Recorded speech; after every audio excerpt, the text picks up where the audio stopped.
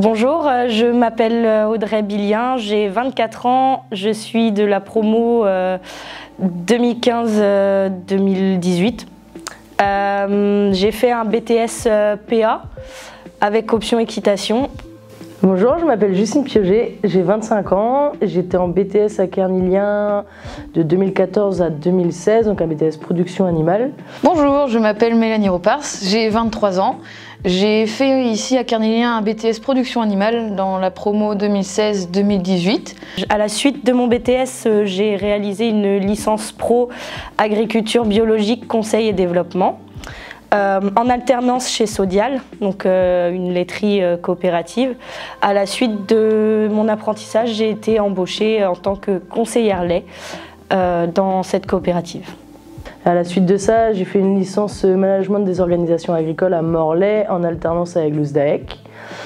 Et euh, ensuite, j'ai fait une autre licence pro euh, technico-commerciale en alternance avec le Gouessant, donc tout ce qui était produits, aliments pour porceler sous la mer et aliments premier âge.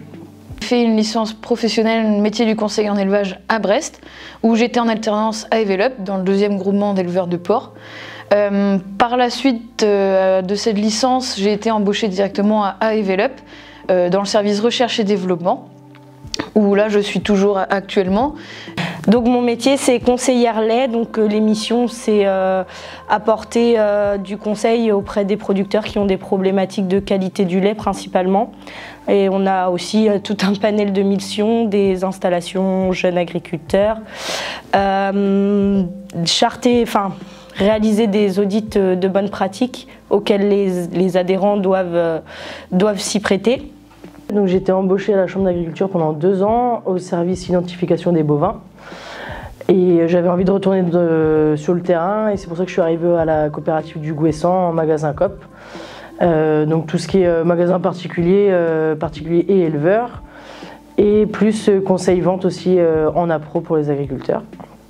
Euh, donc dans ce service-là, on fait des expérimentations en élevage sur euh, l'alimentation, l'environnement, le bâtiment, la santé, en fait tous les secteurs d'activité qu'il peut y avoir dans un élevage de porc, pour essayer d'améliorer le coût de revient des éleveurs et aussi de respecter la réglementation.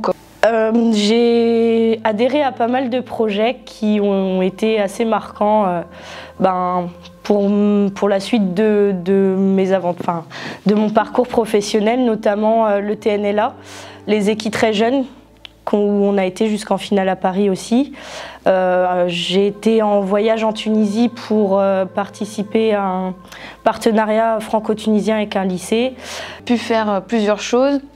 Euh, notamment le concours euh, de pointage par les jeunes en équin, euh, où j'avais fini première à Kernilien, donc j'avais été sélectionnée au Salon de l'Agriculture, où j'ai fini huitième sur 60, donc j'en suis plutôt contente. ensuite, on avait fait un stage au Salon de l'Agriculture en sécurité bovine, où là, il y a plusieurs, plusieurs bons moments de passer avec les éleveurs et les autres de la promo. Et ensuite, euh, on a fait l'équipe très jeune où là, on a fini euh, première à, Paris. Donc, euh, un bon moment de souvenir également. Enfin, des événements marquants à Kernilien, c'était le TNLA pour commencer. Donc, pour partir à Paris présenter une vache dans le cadre de notre projet, BTS.